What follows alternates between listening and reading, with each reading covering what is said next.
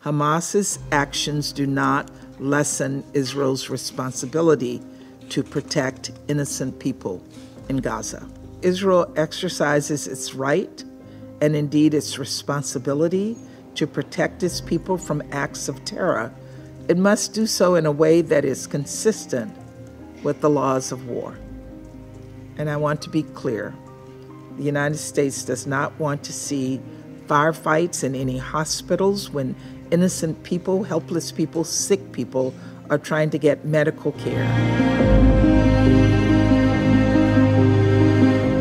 Over the past month, the world has watched with understandable frustration and increasing concern as this council has been unable to speak out on this pressing matter of international peace and security.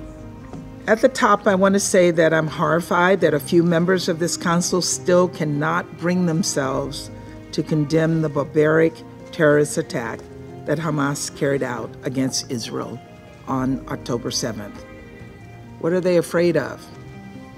What is stopping them from unequivocally condemning the actions of a terrorist organization that is determined to kill Jews and that gunned down civilians, burned families alive, and executed children.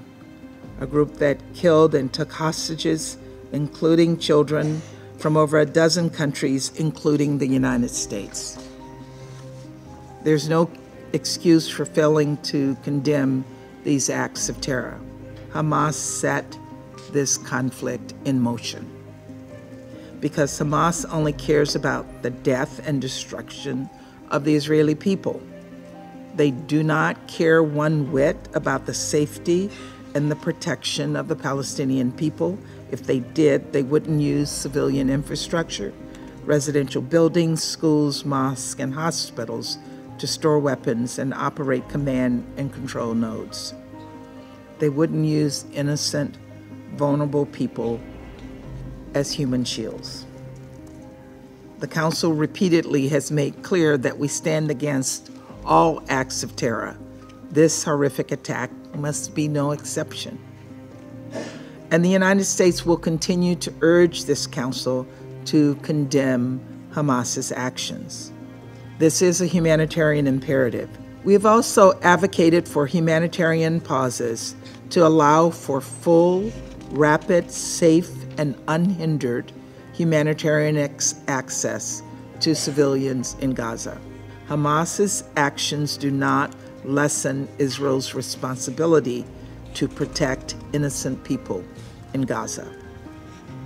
At the end of the day, this all comes down to one clear, urgent goal to save innocent lives. The toll this conflict has taken on civilians is tragic. The loss of every single innocent life is devastating. And we grieve for all those who've been killed Israelis and Palestinians, men, women, children, and elderly people. People of all nationalities and faiths. All civilians should be protected. That means Hamas must stop using people, including hospital staff and patients, as human shields these are acts of unthinkable cruelty and cowardice. That also means that as Israel exercises its right and indeed its responsibility to protect its people from acts of terror, it must do so in a way that is consistent with the laws of war. And I want to be clear the United States does not want to see firefights in any hospitals when innocent people, helpless people, sick people are trying to get medical care. We all need to support the heroic efforts of the UN and other humanitarian workers in Gaza.